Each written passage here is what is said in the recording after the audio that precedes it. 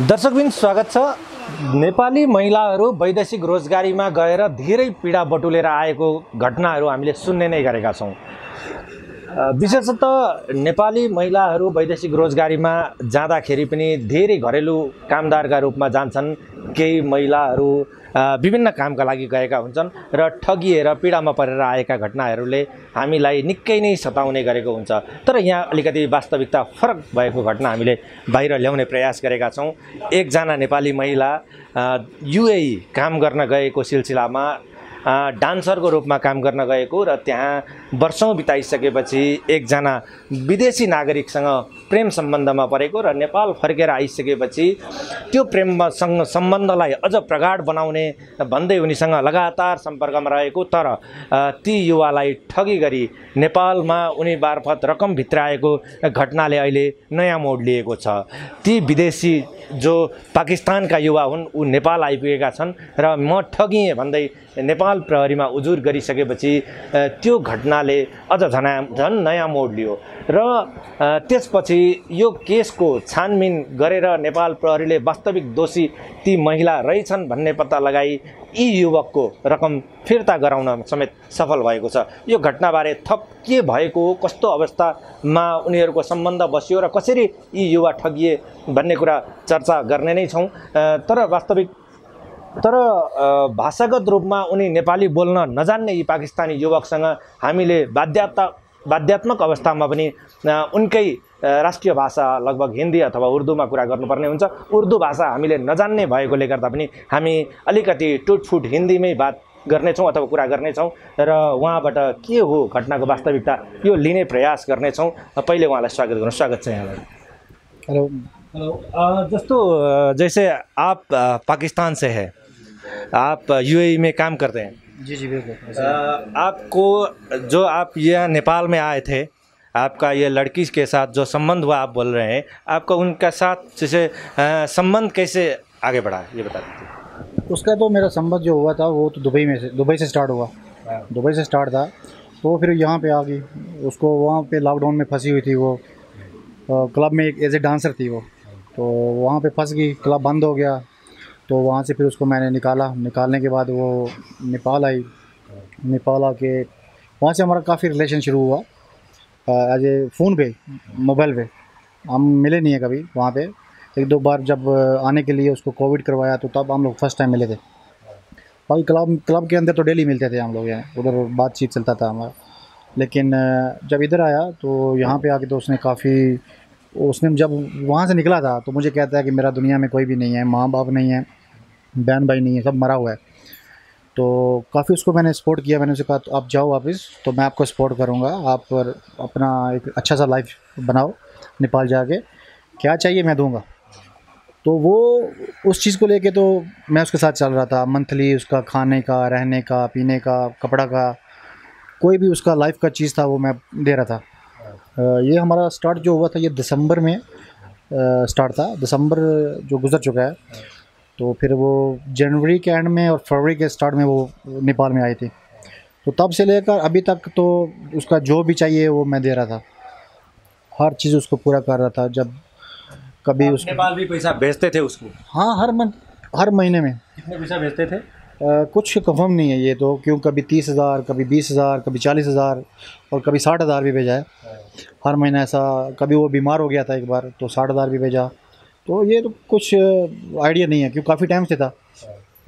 तो चलता रहा ऐसा सिस्टम लेकिन वो फिर मुझे आने के लिए बोला यहाँ पे हम लोग शादी करने वाले थे। तो जब यहाँ पे पहुँचे हम लोग तो आप, आपका बात शादी तक पहुँच गया था? शादी तक पहुँच गया था। अ, आप एक मुस्लिम लड़की लड़के और वो जो नेपाली हिंदू लड़की ये शादी तक बात कैसे पहुँचा आगे? वो हिंदू घर में पैदा हुई लेकिन हिंदू नहीं है वो मुस्लिम पहले से थी। मुस्लिम हो चुकी थी। उसका नाम है असली तो हिंदू में सुष्मिता बरलकोटी था। लेकिन मुस्लिम जब हुई तब उसका नाम था आयशा खान। अभी उसका नाम आयशा खान है वो मुस्लिम है। वो हिंदू नहीं है। तो उसका धर्म परिवर्तन यूएई में जाके हुआ कि यहीं नेपाल में हुआ था? उसका धर्म जो है वो तो परिवर्तन जो हुआ वो तो बहरीन में हुआ। बहरीन में। हुआ। तो जब आपको उसके साथ जो पहले मुलाकात हुआ कब हुआ था? ये जब वो गई थी वहाँ पे कितने साल हुआ? तकरीबन राउंड लास्ट दिसंबर में गई थी वो। दिसंबर से स्टार्ट हुआ था हमारा। दिसंबर से अब सितंबर लगभग नौ दस दस महीने। नौ दस नौ महीने अराउंड ऐसा ही। तो उसके बाद जनवरी में तो वो फिर नेपाल लौट गई। नेपाल उसको मैंने भेजा वहाँ से। वो वहाँ पे लॉकडाउन हो गया। घर में बैठ गई वो लोग वहाँ पे क्लब का लड़की जो होता है वो एक रूम में बंद कर देते हैं वो लोग। फिर वहाँ से मैंने उसको निकाला निकाल के यहाँ भेजा भेज के उसका हर एक लाइफ का जो चीज़ चाहिए था वो पूरा किया। तो वो एक महीने का संबंध जो था आपका वो संबंध प्यार में बदल गया था?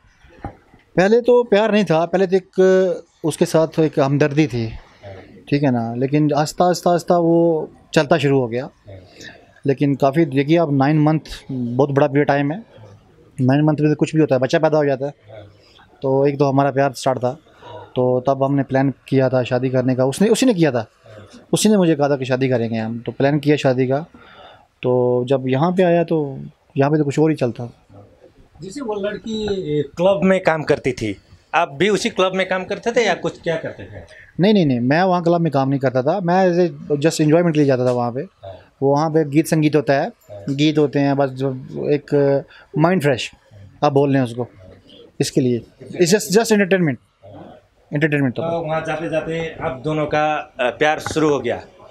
वहाँ पे प्यार शुरू नहीं हुआ। वहाँ तो जस्ट जब प्यार शुरू नहीं- जब वहाँ पे वो जाती थी हम तो जाते थे एज ए गेस्ट जाते थे।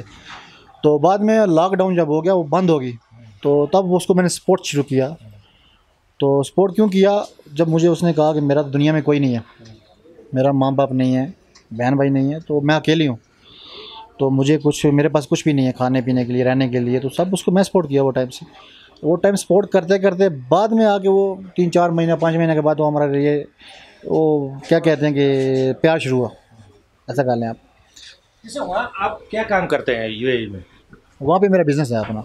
बिज़नेस जी। क्या बिज़नेस करते हैं कंस्ट्रक्शन का है और फर्नीचर शोरूम है। कितने साल से हो आप यूएई में? मैं अराउंड एटीन ईयर से। एटीन ईयर्स जी। एटीन ईयर्स से आप यूएई में हो वहाँ आप अपना बिज़नेस इस्टेब्लिश किया। फिर एक लड़की को साथ हमदर्दी हुई उसको नेपाल भेज दिया। उसके बाद आप लोग का बातचीत चालू हुआ। तो आपका वो बातचीत प्यार में बदल गया। फिर आप पैसे भेजने लगे सामान भेजने लगे। फिर आपके साथ क्या हुआ उसके बाद? जब हुआ ये कि उसने मुझे यहाँ पे आने के लिए फोर्स किया कि यहाँ आओ। क्यों क्यों? अ, हम लोग यहाँ पे आओ यहाँ पे प्लान करेंगे शादी का ये वो काफ़ी सारी बातें थी। हाँ, शादी के लिए आए आप? नहीं शादी का प्लान कर रहा था। शादी तो नहीं करनी थी अभी। शादी तो हम लोग दिसंबर के प्लान था कि दिसंबर में जन्म में करेंगे जाके।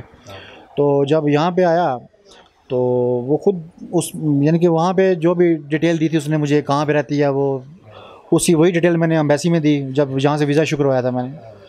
तो जहाँ पे आया उसको वो खुद मुझे एयरपोर्ट से लेके आई। उसके साथ में एक लड़का था संजू नाम का। वो भी था। और और भी थे बंदे।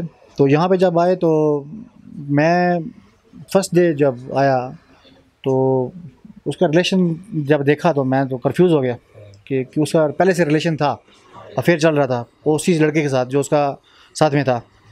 तो मैंने उसको दूसरा दिन पूछा कि ये क्या सीन है? तो उसने मुझे कहा ये तो मेरा भाई है। भाई है तो ठीक है। लेकिन उस टाइम थोड़ा उसके साथ मेरा वो क्या कहते हैं कि थोड़ा बात गर्म बात हुआ क्यों ऐसा भाई तो ऐसा बात नहीं करता भाई। क्यों? भाई के गोद में कोई बैठता नहीं है।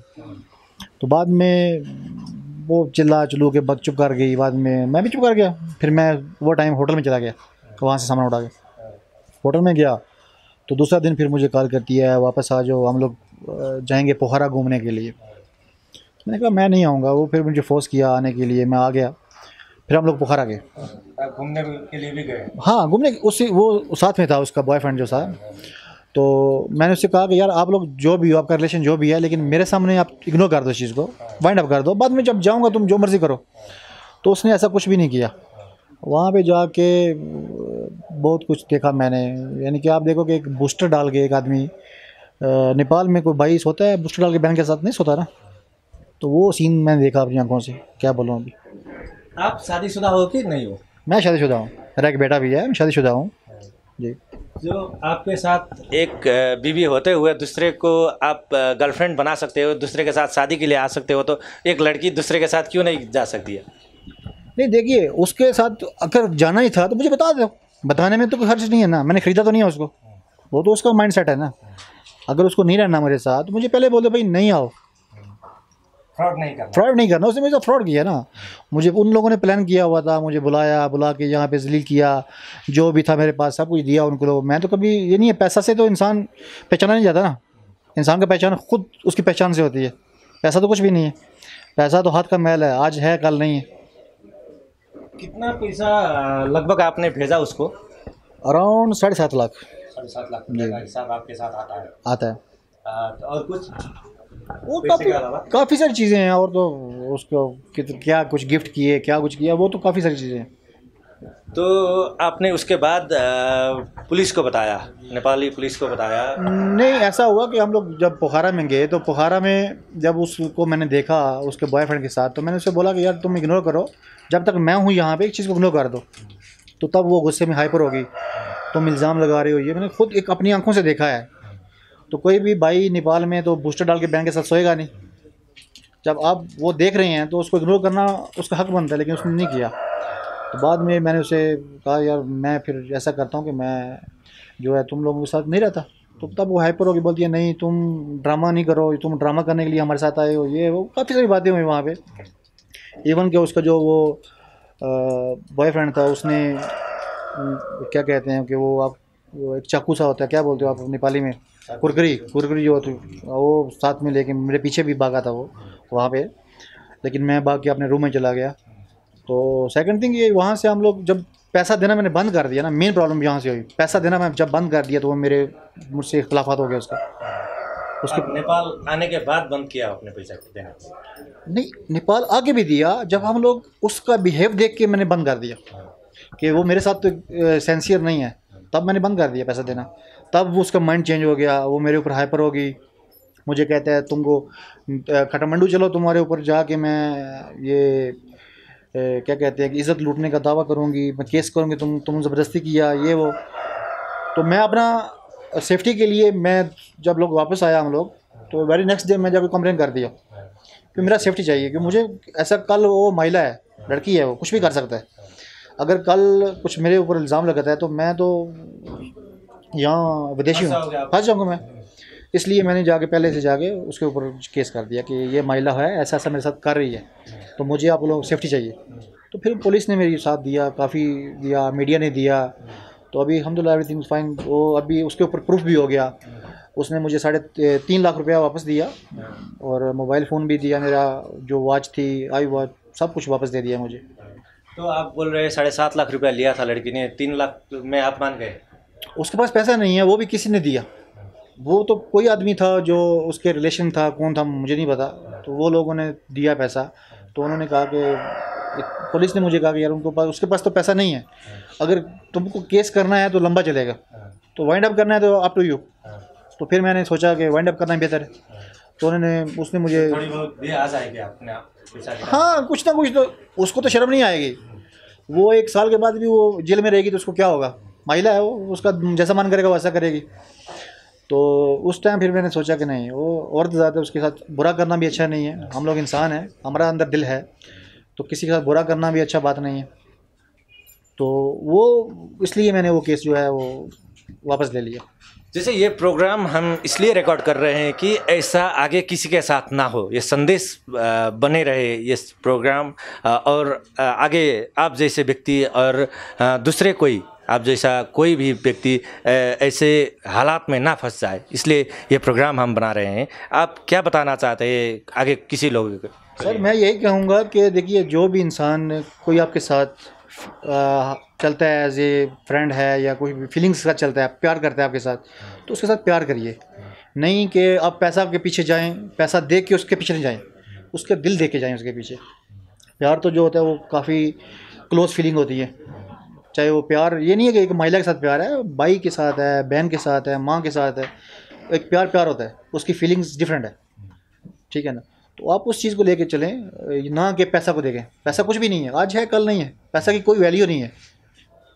सेम टाइम में जैसे आपको पसंद आया आपने पैसा भेजा सामान भेजा फिर आपको अभी पसंद नहीं आया जैसे आपको डाउट हो गया फिर वो आपने रिटर्न ले लिया ये तो फीलिंग्स और प्यार का कहाँ दिखाई? ये तो दिखाई सर प्यार और फीलिंग देखो प्यार बंदा उसके साथ करता है फीलिंग उसके साथ करता है जो आपके साथ फीलिंग कर रहा हो जो आपके साथ फ्रॉड कर रहा है। अगर वो प्यार करता ना वो टाइम मुझे बोलता भाई मुझे दूसरे आदमी से प्यार हो गया। ओके। वो फ्रॉड से वो प्लान से मेरे से पैसा निकाला है। तो तब जाके मैंने पैसा वापस लिया है। ये सब प्लान था। वो प्लान था वो तो ये कहती थी। शुरू से उसका प्लान था वो ये कहती थी कि मैंने बकरा मुर्गा ज़बह करना है। बकरा जो है मुर्गा जो है वो आएगा उसको काटेंगे। वो तो मैंने खुद कानों से सुना। वो मैं अपनी कानों से सुना वहाँ पे हम लोग बुखारा में थे तो वो उसके साथ बातें कर रहे थे तो मैं बाहर बैठा हुआ था। तो ये बातें मैंने सुनी है कि ऐसा ऐसा मुर्गा है उसको काटेंगे फ़िलहाल करेंगे। आप तो नेपाली ये भाषा समझते ही नहीं फिर आपने कैसे सर मैं देखिए नेपाली भाषा इतनी जो है मुश्किल नहीं है। आप बात करेंगे तो थोड़ी बहुत समझ आती है। क्यों? आपकी भाषा और हिंदी में कुछ इतना डिफरेंस नहीं है। कुछ वर्ड्स हैं जो डिफरेंट है।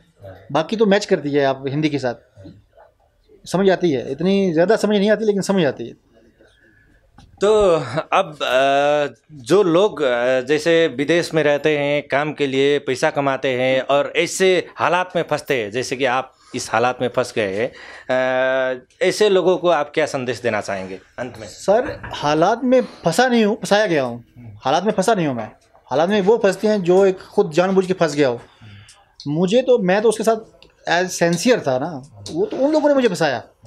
जो इंसान किसी के साथ चलता है, कोई भी देखो, दुनिया में हर आदमी के पास पैसा नहीं है। कोई ऊपर है, कोई नीचे है। ठीक है ना? कोई किसी की हेल्प करता है, वो बहुत बड़ी बात है। आप उसको हेल्प समझें। आप उसका शुक्रिया अदा करें कि उसने आपकी हेल्प की है। क्यों? आपके ऊपर मुश्किल वक्त आता है। वो मुश्किल वक्त कल ख़त्म हो जाएगा, मे भी आपके पास पैसा आ जाएगा। आप उसको डबल रिटर्न कर देंगे। लेकिन उसके साथ खेलना नहीं चाहिए। ऐसा कुछ भी नहीं है। वो तो इंसान जो है ना उसके साथ चलना चाहिए वो चाहे प्यार है नहीं है लेकिन दिल से चले। झूठ नहीं चाहिए उसमें। झूठ बोलना चाहिए। आपको अंत में अंत में है हम लोग। जैसे आपको नेपाल कैसा लगा? अच्छा या बुरा कैसा लगा? सर नेपाल बहुत अच्छा है। बहुत अच्छा कंट्री है। यहाँ के लोग बहुत प्यार वाले हैं बहुत ज़्यादा प्यार करते हैं। और एक आध बंदे की वजह से नेपाल ख़राब नहीं हो सकता। एक बंदा ख़राब है ना। एक मछली जो होती है ना, वो कहते हैं सारे तालाब को गंदी करती है, लेकिन अगर मछली को निकाल देंगे, क्यों तालाब गंदा होगा? तो वो गंदी है, उसका सोच क्या है कुछ नहीं है, लेकिन मे भी कल ठीक हो जाए वो, लेकिन नेपाल बहुत अच्छा कंट्री है, मुझे बहुत अच्छा मैंने बुखारा था घुमाऊँ बाई रोड घूमा हूँ बुरे लोगों को साथ नहीं देता है यहाँ का कोई भी व्यक्ति अथवा कोई भी ऑफिसर यहाँ का बुरे लोगों को साथ नहीं देता है। आप ये सीख कर जा रहे हैं। मैं बिल्कुल सीखा है मैंने। वहाँ पे पुलिस स्टेशन में भी काफ़ी सारा उन्होंने क्वेश्चन आंसर किए। उन्होंने काफ़ी सारे यानी कि क्या कहते हैं कि निकाला है कि कौन गलत है कौन सही है। वो लोगों ने काफ़ी सारा पूछ गिछ किया हमसे कि क्या कार्य कैसा हुआ क्या हुआ। तो मीडिया भी चल रही है सेम मीडिया भी तो और पुलिस में कुछ फ़र्क नहीं है। सेम ही क्वेश्चन है दोनों के। तो मैं बहुत शुक्रिया अदा करता हूँ, धन्यवाद करता हूँ उन लोगों का कि जिन्होंने मुझे हेल्प की है और कॉपरेट किया मेरे साथ और ख़ासकर नेपाली लोगों का। यहाँ के जितने भी लोग हैं, बहुत प्यार वाले हैं, उन लोगों ने मुझे बहुत प्यार दिया है और काफ़ी सारा मेरे साथ हेल्प भी किया है। एक अच्छा इंसान, एक अच्छे इंसान को मिलता है ना तो अच्छा ही कहलाता है। बुरा बुरा मिलता है, बुरा ही कहलाता है। तो वो बुरी थी, वो बुरी है। जो अच्छे हैं, वो अच्छे हैं। तो इसके लिए सब लोग अच्छे हैं। मैं किसी को नहीं बोलूँगा बुरा है लेकिन वो बुरी है। उसने बुरा किया है। ठीक है आपने जो टाइम दिया हम लोगों को आपका जो समस्या था वो हमसे ये रूबरू किया। इसके लिए आपको विशेष विशेष धन्यवाद देना चाहूँगा और ये कार्यक्रम अंत का घोषणा करूँगा। बिल्कुल वेलकम सर तो मेरा यही सवाल है कि आप लास्ट में कि किसी की फीलिंग्स जो है ना वो फीलिंग्स होती हैं। फीलिंग को समझे। फीलिंग्स को लेके चलेंगे तो आप कभी भी किसी जगह में आप मार नहीं खाएँगे। आपके साथ कोई बुरा नहीं होगा कभी भी बुरा नहीं होगा। जो फीलिंग और झूठ जो होता है झूठ झूठ कितना दिन छुपेगा? एक दिन दो दिन चार दिन छुप जाएगा। जस्तो हामीले नेपाली भाषा बोल्न नजान्ने यी पाकिस्तानी व्यक्तिसँग कुरा पनि गऱ्यौँ र उनका समस्याहरू हामीले यहाँहरूमा जस्ताको त्यस्तै राख्ने प्रयास किन पनि गऱ्यौँ भने यो समस्या एउटा व्यक्ति अथवा यी पाकिस्तानी युवकलाई मात्रै परेको होइन। हरेक दुनियाँका हरेक व्यक्तिलाई पर्ने गर्छ यो खालका समस्या र यो समस्यामा अरू व्यक्तिहरू नफसुन् भनेर पनि हामीले यो घटनालाई बाहिर ल्याउने प्रयास गरेका हौँ।